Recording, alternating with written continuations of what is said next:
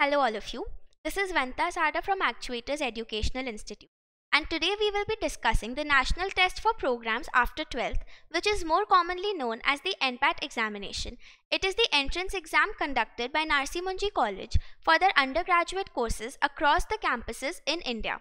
So if you desire to apply in any of the campuses in Hyderabad, Delhi, Navi Mumbai, Bangalore or Indore for courses such as BBA, BCom honors, etc then you have to appear for the NPAT examination as a prerequisite and secure the minimum number of marks before you move on to the next stage of your application.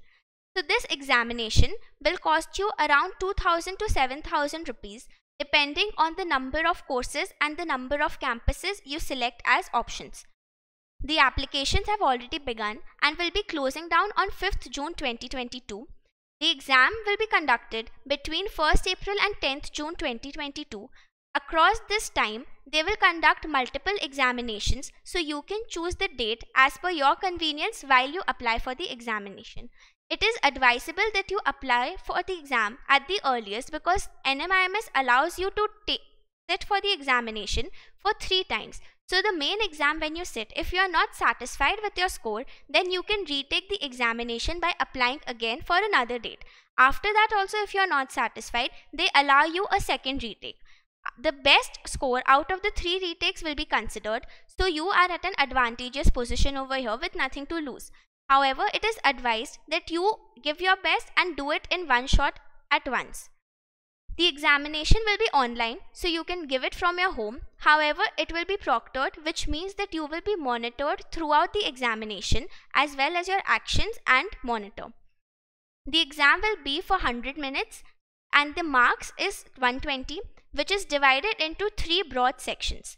The verbal ability section tests your English skills, which includes comprehension, communication, and basic grammar. It will consist of 40 marks and you will get 25 minutes to complete this section. The next section is the reasoning and general intelligence section which is again for 40 marks but this time you get 35 minutes to complete this section. After that the last section is the quantitative ability section which is for 40 marks and you get 40 minutes to attempt it. In the reasoning and general intelligence section, you will face questions such as logical reasoning question on syllogism, blood relations, data series, etc., as well as data interpretation questions on line charts, pie charts, bar charts, and all. The quantitative ability section tests your mathematical skills, which involves the main topics in the finance field, such as profit loss, ratio proportion, number system, set theory, basics of geometry and trigonometry, and probability. This totals up to 120 marks in 100 minutes and it is important that you also pay attention to the sectional time limit because until and unless you don't complete a section, you will not be allowed to move on to the next section. The main part for students, which is actually a very good thing, is that there is no negative marking in the NPAT examination. So you can attempt the entire paper without the fear of thinking that what if I attempt the wrong answer and I lose marks for that. So you can attempt the entire paper and do your best. We at Actuators Educational are commencing fresh batches for NPAT preparation from March 2022.